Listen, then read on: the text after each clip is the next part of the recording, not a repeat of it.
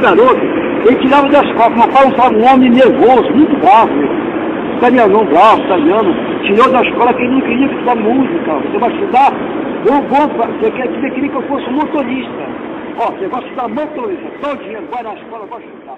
Tirou da escola.